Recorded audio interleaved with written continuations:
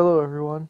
This is Keelloo, your host as usual. And today we are going to talk about my collection history because I collect a lot, and um, a bit about my Japan trip. So, if you want some context, there's a lot of information on my WordPress blog, which I will link.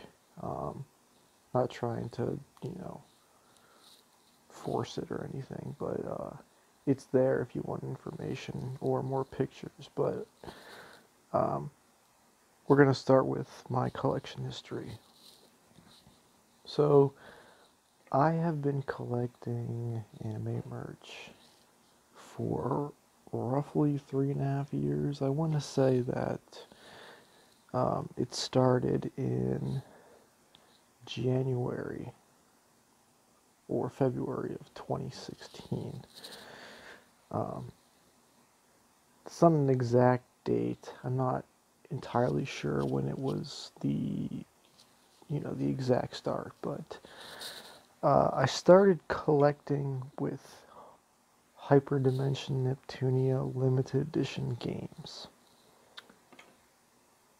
which at the time were relatively inexpensive because, just some short trivia, um, Neptunia wasn't as big as it is now as it was three and a half years ago.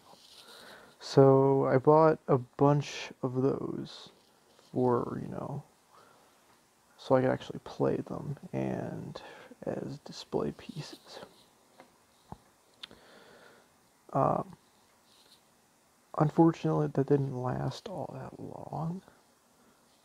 I didn't, you know, hold up collecting Neptunia merch for a whole lot longer. Um, a lot of it was very, very hasty buying. Like, the feeling when you first start a hobby where you just you just want to really really get into it. And that was kind of how i felt about hyperdimension neptunia stuff.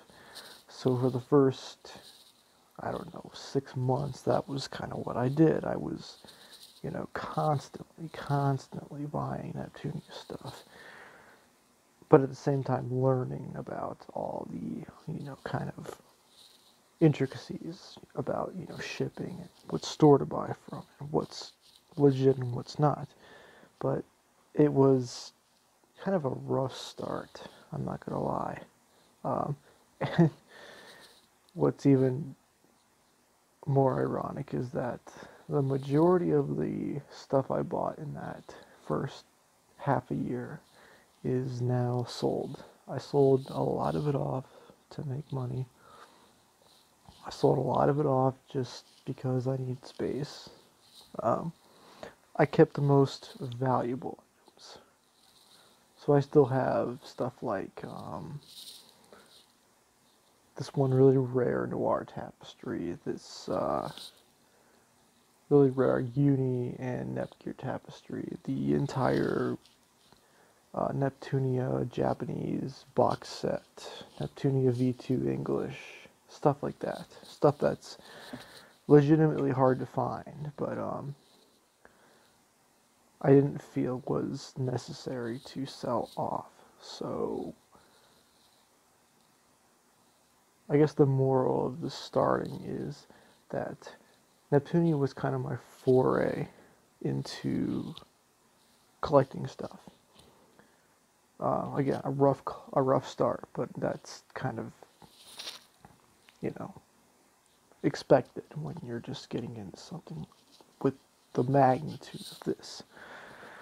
So after this, I discovered, or not after this, during this, I discovered what scale figures were. Uh, scale figures, as in, I mean, figures that have an actual scale, like one seventh or one eighth. Um, not just a random height.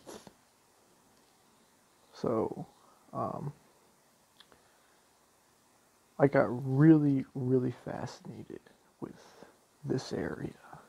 I did so much research on this. I did a lot of, you know, making sure I'm not screwing this up. Just making sure that I'm getting what I want from where I want in the right way. And in, I want to say it was late March, I got my first, or late March of 2016, excuse me. I got my first scale, which was Alters Blackheart from, of course, at the time, Hyperdimension Neptunia, which I was, you know, like I said, really, really into. And I was just amazed at the quality, the build, the just overall aesthetic of everything. It, it, it just fascinated me because prior to this, the figures I had seen were like pops or shitty action figures, and then I get this, and I think, holy shit. These the, these so-called they're not action figures, but these figures can be extremely amazing quality. I mean, they're expensive, yeah, but look at what you're getting. It was just that moment where everything started, I felt. So from that point, I still kind of collected Neptunia stuff, like I said, for about six months from the start. But I became more and more interested in figures, like scale figures, um, quality scale figures. And I bought quite a few in the six months after I bought Blackheart. So, like, kind of overlapping here, but um, I really went overboard. I bought just just so so many where to the point I lost space. Which then led me to buying my first Detolf, which is if you're not familiar, Detolfs are these four level glass cases um, that you can buy at IKEA's. And um, they're really inexpensive and good for uh, figure display or just stuff display in general, whatever. So that was what led me to do that. So yeah, 2016 was a very aggressive month or year. Excuse, God, excuse me, for really getting me into hey, there's all these different sites. There's tons of different figures that are really, really good quality. There's all these companies that produce all these different quality figures. And it, it was a good year. It was a really good year. The end of 2016. Um, my room, my collection, which was zero at first, had gone from this blank slate, this really boring room, to this kind of vibrant space. Alright, let's move on to the next part. Um, as for the next part, let me just kind of sum up 2017 really quick here. 2017, I kind of took a quick respite because I had some school stuff and I wasn't making as much money. Um, so I kind of slowed down a bit. I still bought stuff, but um, I did slow down a bit. So that was just kind of how it was at that time. But um, I just wanted to quickly reference that anyway. Let's go back. Um, let's talk about the the shift from just figures to the shift from general anime merch. Um, at first, I was convinced. Well, no, not at first. When I just started collecting figures, I was convinced that was going to be the thing.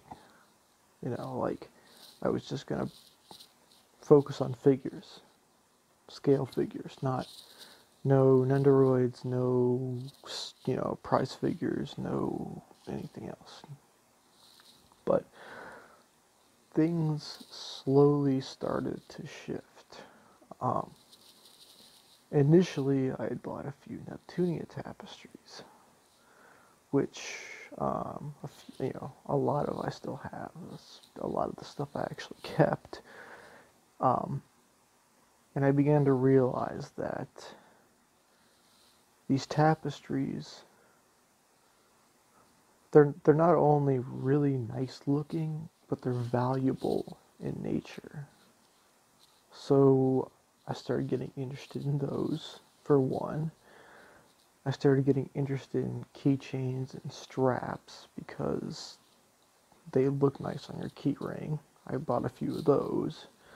Um, I bought a couple art books, a couple Dengeki G's magazines because, you know, trying to just expand my horizons is all I can say. I know it's cheesy, but um, bought some Blu-rays, even though some of them I couldn't watch unless it was Love Live, which I'm going to talk about next. Uh, just generally expanded what I was initially thinking I was going to do. Because just doing figures, you know, looking back now, of course, would have been really dull because I still love figures, of course, but having this variety of stuff, um, having your place decorated with figures and tapestries and you know books, magazines, sheets, keychains, Blu-rays is just it's great. It looks so much better and it makes for a really good collection.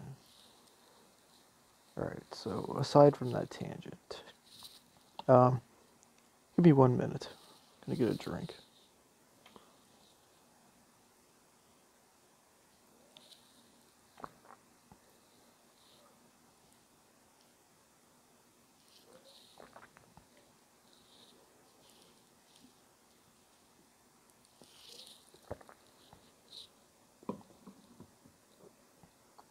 All right. Sorry about that. Um, let's move on. So, what I just mentioned, we're going to talk about the big one, um, Love Live. Uh, Love Live is the prime focus of my collection at the moment. It is the kind of like centerpiece of everything that I have. And again, if you've read my WordPress thing, you'd see that yeah, it's it, it's Love Live. Um, so let's kind of just discuss my history with Love Live for a little bit. Um, Love Live's been around for a really long time. I think they just celebrated their recently their ninth anniversary. Um, back when it was the Muse era, but um, I'm an Aqours guy but I'll discuss that. I came across Love Live in early 2016. I can't exactly recall when, but it was around that time. Um, it was before Muse had their uh, final live. You know, with, for those who aren't aware, that's the uh, the last show, and then they broke up which was a huge deal at the time. So then we had Aqours, who had been announced roughly, you know, I want to say it was like 10 months before, in midsummer. And everyone was saying, oh, Aqours is just this, uh, they're just this Muse clone. They're just, uh, there, there's no way they can replace the original Muse. And that was the sentiment for a pretty long time. And at this time, I was playing, um, I started playing School Idol Festival. I'm going to refer to this as SIF, uh, the mobile game for Love Live, which is a rhythm game. Um, so, my first exposure was to Muse, of course, as I said, and I kind of was on that bandwagon of, oh, it's impossible to replace Muse. Can't possibly, possibly ever replace the original Love Live group. And again, I kind of just fell into that mindset. Um, there were a few Aqours cars being introduced into this game. Or, this is on the English server, by the way. On the game, slowly, slowly, slowly, and I wasn't really sure what to think. I wanted to like them, but I was just still under this mindset of, oh, but it's it, it it's not Muse. Surely Aqours can't replace Muse. Like I said, that was at the time. This was probably May 2016, I'm going to say. And um, I just couldn't get behind the character designs at the time because at this time, of course, there was no anime. The anime released um, a bit later, which I would obviously watch, but um, at this time, no. It was Excuse me, sorry about that. It was hard for me to get behind the idea that there could be a group that could replace the original Love Live group. Which, looking back in retrospect, is kind of like who cares if they were the original? Who cares? But at, again, at the time, I was just trying to like Aqours, but unsure. And then I watched the anime. And then I started thinking, hmm. Some of these characters kind of seem like Muse clones. Like Chika got compared to Honoka, Riko got compared to Umi, blah blah blah. But the characters just struck me as better.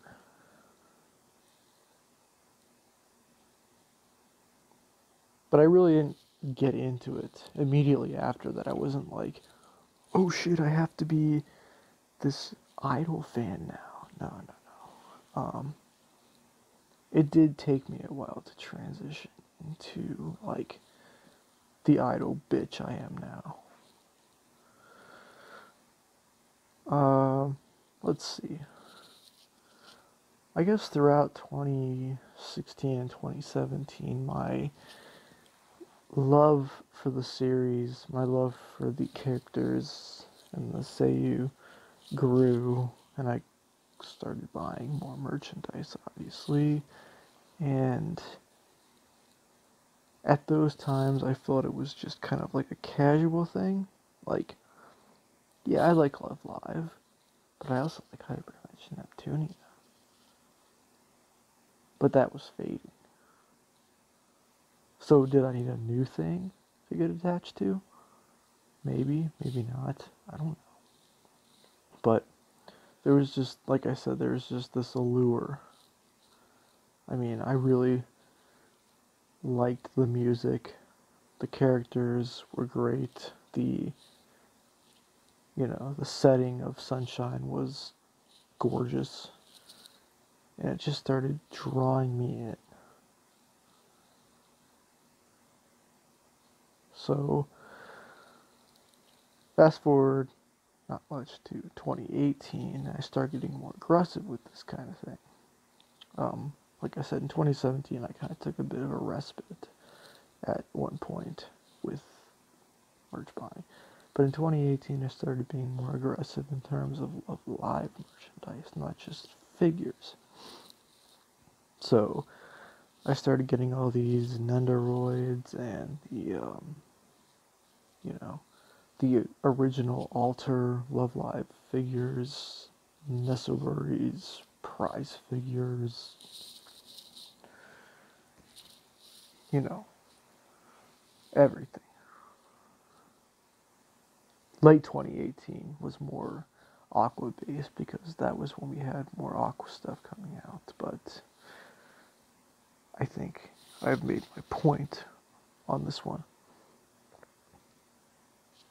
And then, of course, um, 2018 was when I first went to Japan, November of 2018, um, where uh, I spent time in both uh, Shinjuku, Tokyo, and uh, Numazu slash Cheer, and got to see just everything that actually was in the anime that I had grown to love. And it was all so just there was no errors. They did it so well. And I had some fun with the stamp stations and all that and but yeah, I I went to a lot of the major locales, but did miss a few, which made me kind of sad. But, um, yeah. I think that's what kind of solidified my okay. I am in idol hell for life. Or not for life, at least, but for a long time. And then I went back in April, which is my most recent one, and I went back, of course, and I, you know, I went to the other places that I missed. I stayed in Riverside Hotel, which is the site of Yoshiko's apartment. Um, I went to some really obscure places. I got a lot of stamps I missed. I bought a lot more merch. I returned to some of the places. It was just like I don't want to leave. But, you know, not all good things can last. And it was an amazing few days there. I got a lot of nice stuff. I saw just some of the most amazing stuff again. I mean, this is in my uh, WordPress thingy, but um, part of the time I spent in Uchiura, I walked with this Korean guy who I met on the bus. Um, it was the weirdest thing because, you know, he was kind of like looking over at me frequently, and we didn't actually say anything because I didn't. I, I wasn't sure if he actually spoke English at all. And then I saw him taking a picture when the bus stopped. And I looked over at it and kind of laughed a bit. And then he started talking. So after that, we go to the last stop and we start walking together. So in Uchiura, I spent a lot of time with this Korean guy. And it was unexpectedly serendipitously fun. But, you know, I haven't heard from him since, so I hope he remembers me. But that's okay, I'm gonna just kind of back off of that. But the point is, um, Love Live stuff is kind of my forte at the moment. Um, if you look around my room, you'll see, I don't know, 60% Love Live, maybe even 70%. That's what it's come to. That's what it's come to. Um, no, but uh, yeah. All right, so let's finally move on to something uh, different, like um, the various different kinds of merch that I collect. Um, start with tapestries. Uh, tapestries are a hard one. Tapestries are, you know, also known as wall scrolls, are a hard one because they're both big as hell, so the shipping is ass, and very, very easy to bootleg. And I've seen numerous bootlegs. Hell, I've one of the first tapestries I bought was a bootleg. So it's not hard to buy a bootleg on accident. But basically tapestries are the things you hang on the walls. They have a, a strap, like a, a string, sorry, two pipes on one top, one on the bottom, and you hang them usually like the most common size is B2, which is a foreign uh, a foreign paper size. So you can go look that up if you're interested. Um, but tapestries are um, pretty interesting to me. I think they make for really good display uh, pieces and there are a lot of good ones. There's a lot of lewd ones. There's a lot of, you know, safer work ones. There's a lot of just pretty inexpensive ones if you're on budget. But um, if I had more wall space, of course, I would buy more. But at this point, I have very little wall space for tapestries, but um, they are occasionally very annoying to find, very annoying to get. Uh, a lot of the good ones are sold on the secondhand market, which I'm, I may or may not talk about in this uh, in this video, but they're sometimes really annoying to find. Not always. I mean, sometimes you can order them on the big sites, but uh, the rare ones, the ones that are made by uh, Dojin artists, are just sometimes impossible to find. So it's weird. I don't know why I'm so fascinated by them because a lot of people would just say, "Oh, just you can just go on eBay and buy a bunch of cheap ones instead of paying out the ass for these real ones." But like I said, I do what I have to do. Okay, next on the agenda is small stuff. When I say small stuff, I mean um, things like keychains or rubber straps, which have a surprisingly strong presence in the collecting community. Um, I was amazed to learn how prominent they were. Because to me, I mean, yeah, they're cute. Yeah, they look nice. Yeah, you can put them on your keyring and be a dank memer, but I never thought it would be that big. I I have a f- quite a few myself personally, but um, I know some people really go all out on stuff like straps and keychains. Like you can get a cork board and just put pins on them and people have these immaculate displays of keychains and straps and whatever else you can put on a keychain. And it's just like, wow.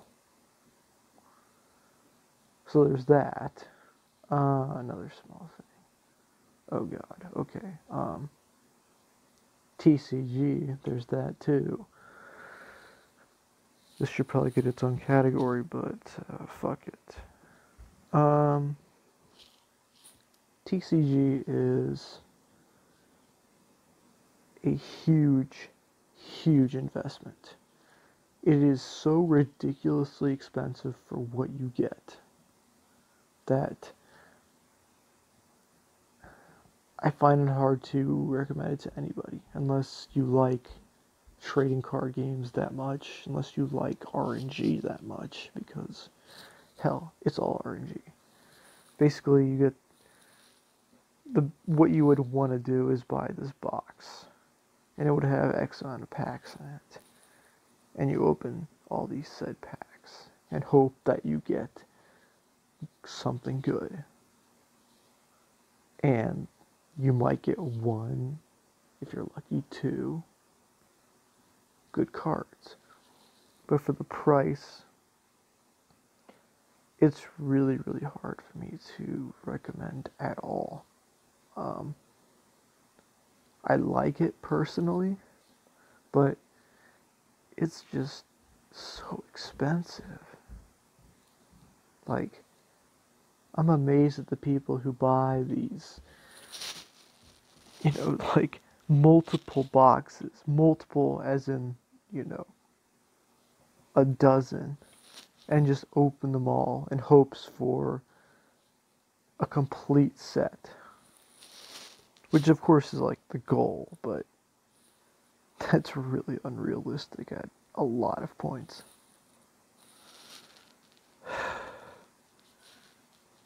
God damn. Anyway, next small thing. Um, clear files. Clear files are literally just like, okay, picture a manila folder. You know, like those generic brownish folders, right? That's what clear files are, but they're kind of opaque and always have a design on them and are really collectible and very, very cheap. I have so many of them because they're so cheap and they look so good for what you know their price is.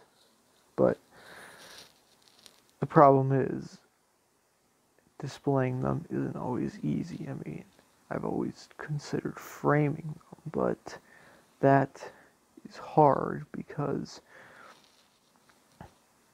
again, I have limited wall space and it's not like you're putting a poster or a photo in a frame. It's a piece of plastic.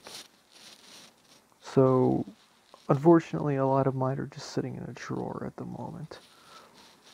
So, hopefully, I can figure out how to get them you know, well displayed in the next, you know, few months. Okay, what else? I mean, there's a lot of really small stuff. I mean, we could talk for ages and ages about small stuff, but I'm not really sure it's worth it. So I'm gonna move on. Um, again, if you want to see any other small things, I'm gonna put my WordPress in the description. Books, books and magazines. Um, art books are really popular. Art books usually feature the art of a a particular anime or b a particular artist. Like, for example, there might be, or they're not, might be is the wrong word. There's a ton of Love Live art books. But if you want to see some kind of particular artist's work all in one volume, like Kantoku, for example, um, you can get that too. Um, they're generally kind of pricey over here in the West, but over in this, uh, you know, over in Japan, I found them to be reasonably priced, but it's literally just pictures. There's very little wording. Uh, I mean, there's some. There can be some. I'm not gonna say. I don't want to misinform, but it's just like art of whatever the anime, the series, the artist you buy from. And those are really popular. Um, I'm not a huge fan of them personally. I only have, what, three art books? But, um, no, I want to say, no, four. Okay, four. But those are really, like, really, really special to me. And then you have magazines and stuff. Um, Dengeki, I'm going to mention just a couple. Dengeki Bunko, Dengeki PlayStation, Dengeki G's, um, all these magazines that syndicate Japan that have news on various things. Like Dengeki Bunko is games, Dengeki G's is a lot of, you know, um, you know, girl stuff, you know, anything that's girl related. I got it. I'm using such wrong words. Galga, whatever. I'm gonna call it Galga. And Dengeki PlayStation is like PlayStation stuff. Those are kind of collectible. Um, like Dengeki G's, for example, has a lot of Love Live art on the covers, which is, you know, nice for my display personally. And they come with posters a lot of times. So you can start your collection off right with a bunch of posters. um, but that's that. I mean, they're kind of niche. I wouldn't like point you in that direction if you asked me. But for people who want to kind of enhance their collection displays or actually can read Japanese and care about the news in them, of course. Yeah, uh, the magazines are a nice touch. All right, next um, is oh, this is a big one. Media, media, as in uh, CDs, Blu-rays, and anything else that is, you know, DVD or Blu-ray based. DVD, CD, Blu-ray based. So, for example, Love Live. Um, since they're a music group, it's very popular to collect their CDs, uh, which are, of course, disc based. But um, the issue is you can find the music easily on the internet. So a lot of people say, "Oh, physical media, it's dead." which it kind of is, but what people have to understand is there's a collectible factor behind them. I mean, I have quite a few Love Live CDs, and I would not give them up for much of anything. And I have a lot of other rare CD collections that, um, despite the fact that, you know, oh, I can just go find this somewhere else, um, I wouldn't I w- I wouldn't give it up. They're just very collectible. They look fantastic, and it sometimes makes me sad that physical media is dying. As for Blu-rays, those are far more collectible. Um, Blu-rays are weird in Japan. When you want to buy a Blu-ray set in Japan, or not in America, for example, you go on Amazon, for example, and you can find the entire season for I don't know, 40 bucks on average, I'm going to say. And then you go to Japan's versions in one volume. When I say volume, I will explain what I mean by that.